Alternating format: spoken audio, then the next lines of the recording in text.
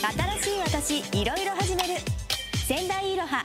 皆さんは毎日のお買い物でもらうレシートはどうしていますか？私は食べ過ぎていつも財布がパンパンです。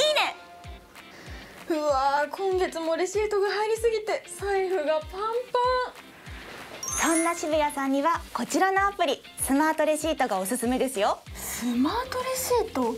どなたですか？通りすがりのアプリ研究家です。買い物時の紙レシートを電子化してスマホに保存できるスマートレシート。支出管理もできちゃうんだそう。お店でもらう紙のレシートどうやって管理してますか？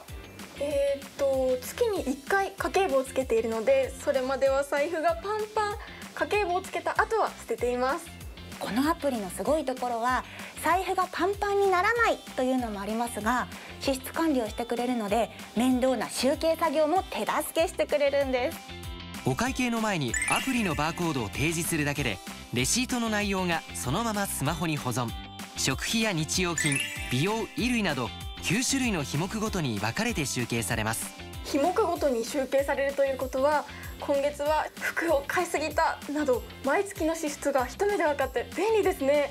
その通り他にも対象のお店のポイント情報も確認できるので節約にもつながりますよ。いいね。紙を使わないということは資源の節約にもなりますね。